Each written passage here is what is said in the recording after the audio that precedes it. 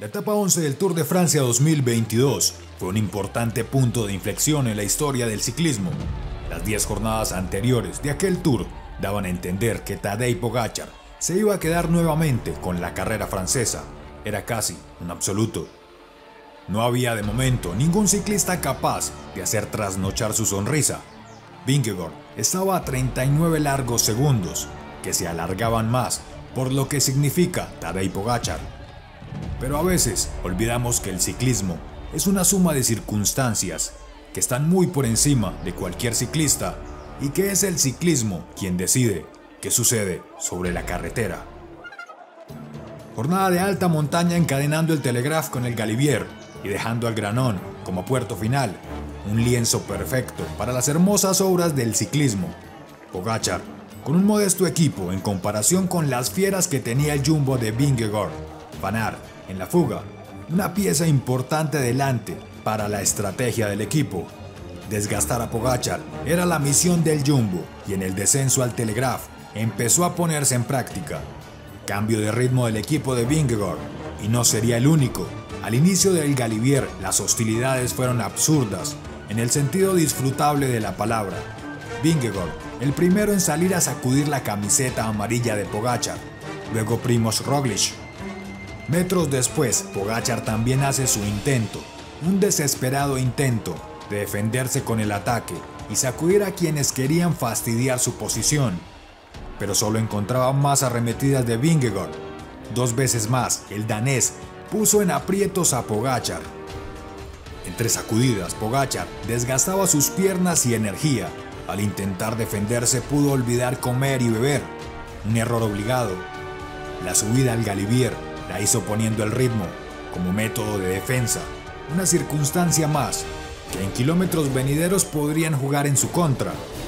El Galivier lo subieron sin más arremetidas y dejaron que fuera el Granón quien definiera el poseedor de la gloria. El Jumbo llegó con la mayoría de sus piezas, gracias al excepcional trabajo de Manar. El belga esperó a sus compañeros rezagados y los llevó al grupo que luego comandó.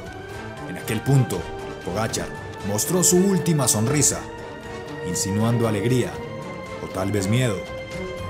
Un numeroso grupo comenzó la escalada al granón, consumiendo los rezagos de la fuga. Bogachar seguía en la conciencia del aficionado como el más fuerte. Nairo Quintana alzó vuelo al inicio del puerto. Nadie quiso seguirlo. Tal vez era el primer síntoma de una posible debilidad de Pogachar. El esloveno se caracteriza por apagar cualquier llama, se hizo más evidente la merma de Pogachar cuando Bardet atacó y dejó el grupo con relativa facilidad. Los ataques tal vez fueron un mensaje para Vingegaard, dando a entender que la etapa 11 sería su jornada. El danés atacó un kilómetro después del arrancón de Bardet y lo imposible sucedió.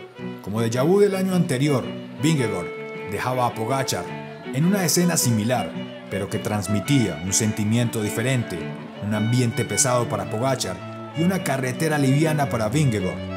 Ni él ni su único soldado fueron capaces de soportar la embestida.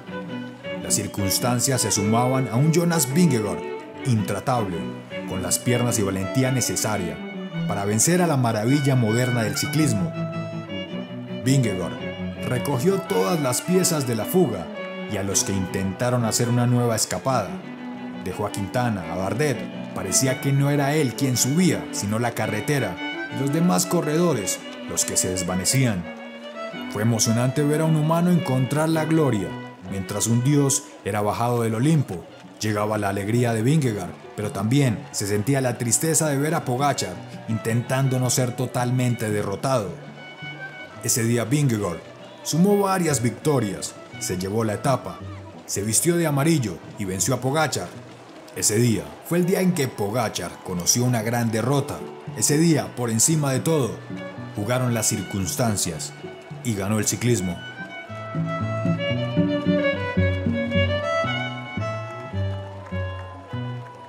Aquí te dejo más historias que puedes ver y si quieres apoyar el canal, haz estos tres simples pasos.